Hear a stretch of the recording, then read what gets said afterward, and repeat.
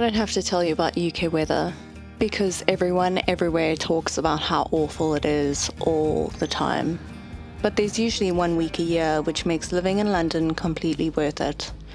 The only issue is because it's so limited, you really feel the pressure to make the most of the summer. Luckily, I have this week off, which means I really have to seize the moment. Which means I actually left my home every day for a week.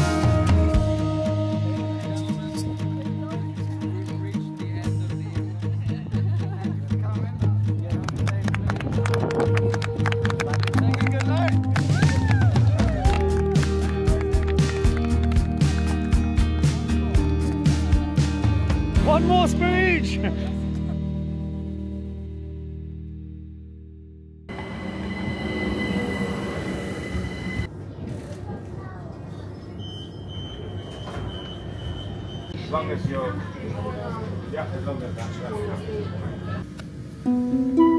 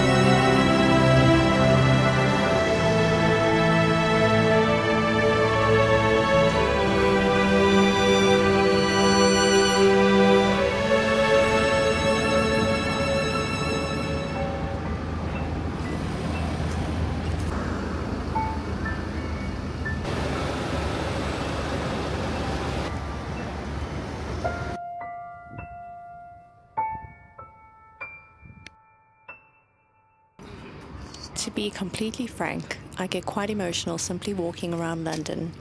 London is so established, so ingrained in influencing global arts and culture for decades, even centuries, and one cannot help but think who might have walked down the same streets that you walk on? London has been home to so many literary giants that I made it my mission to use 101 Dalmatians as my Tuesday outing. 101 Dalmatians was a children's book written by Dodie Smith in 1956 and then turned into the iconic Disney movie in 1961. Dodie lived in Marylebone with her nine Dalmatians and often would be seen walking them in Regent's Park.